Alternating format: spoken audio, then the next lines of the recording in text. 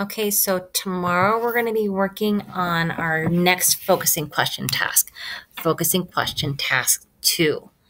So we're going to experiment with writing an opinion for this. First, the introduction. For the past several lessons, you've been reading detailed accounts of what life as a boy soldier was like during the Civil War. How did the experiences of being a soldier in the Civil War affect these boys?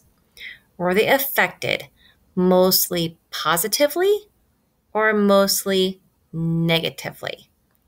Our task for your teachers and classmates, write an opinion essay in which you explain whether being a soldier in the Civil War affected boys for the better or for the worse. Use evidence from the boys' war to develop two reasons. Elaborate on your evidence to support your reasons. So, there are two opinions that you could have. I'm not going to say what they are because then I feel like I'm giving it away. But restate and answer that question, not with the because statement yet. I'm not asking you for your reasons. I just want the two opinions that we could have.